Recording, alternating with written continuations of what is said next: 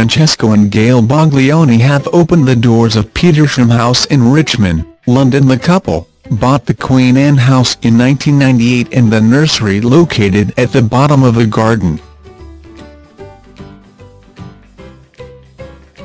It took five years for the house to be completed and is adorned with antiques and colourful pieces of art. The couple host extravagant parties in the nursery, which also has a popular restaurant serving seasonal food, attended by royalty and celebrities alike.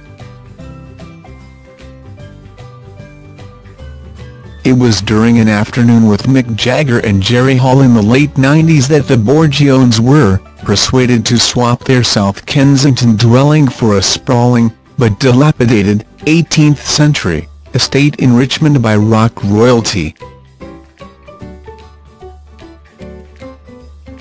Enticed by the enormous garden and the prospect of a quieter life in the leafy London suburb, the couple, Italian businessman Francesco and Australian former model Gael, sealed the deal on the house in 1998, and just two years later snapped up the nursery that adjoined the property.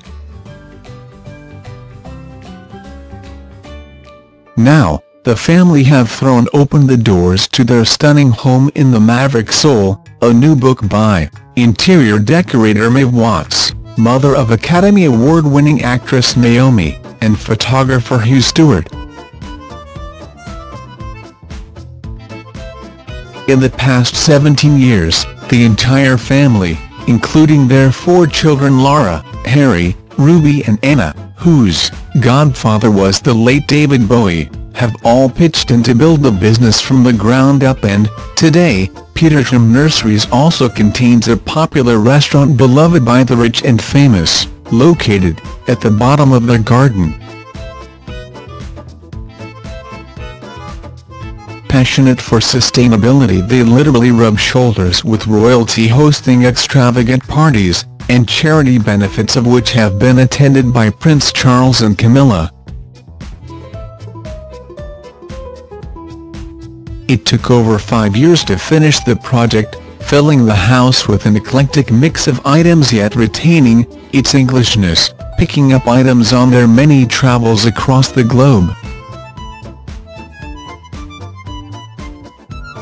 Francesco and Gael are avid art collectors with works by Alex Katz, Gary Hume, Paula Rego and Damien Hirst all adorning the walls of the cool interior.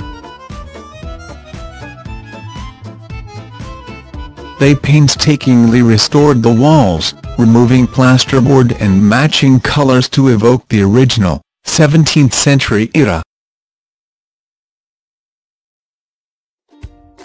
Dark wooden floors feature throughout the property which offsets the cool creamy walls that provide the backdrop for the carefully sourced antiques and artwork from around the world.